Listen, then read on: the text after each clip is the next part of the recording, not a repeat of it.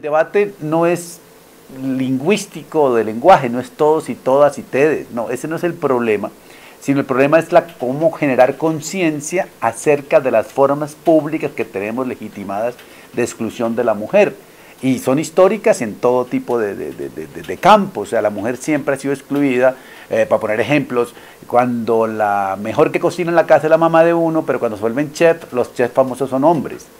Eh, las mujeres comenzaron siendo las mejores community managers, manejos de las, de las culturas digitales, y ahora los que programan son, son puramente hombres. Eh, entonces, de alguna forma, eh, hay que dignificar el, el, relato de la mujer. La guerra la hicieron los hombres y la paz la están haciendo las mujeres.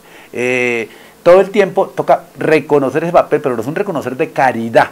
No es un acto caritativo con las mujeres, sino que hay que incluirlas en la vida pública que tenemos. Entonces me parece que el debate fue interesante en la medida en que genera una conversación pública acerca del tema de género en la ciudad de Bogotá.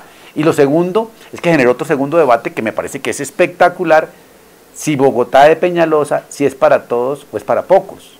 Y entonces me parece que también es interesante. Yo creo que el eslogan de Bogotá ahora debe ser Bogotá para pocos y pocas. O sea, es, es, un, es una cosa que no está siendo para todos, está siendo básicamente para los ciclistas, que en contra de los carristas, si quieren, está siendo en contra de la arrogancia de Peñalosa en contra de la gente que en la séptima creía que merecía una cosa más bella que un transmilenio a la brava y a la hijo de madre, como ponen eso, implica una cosa que la, la, Bogotá de Peñalosa no escucha a nadie, no es para todos y todas, sino es para pocos o casi para ninguno, es para ellos. Entonces, de alguna forma creo que este debate son interesantes. Yo no, no, no, no digo que sea bueno ni malo, esto no es una cuestión de moralismo, es a la sociedad colombiana le gusta, necesita conversar más sin estar de acuerdo para ponerse un tricito más de acuerdo.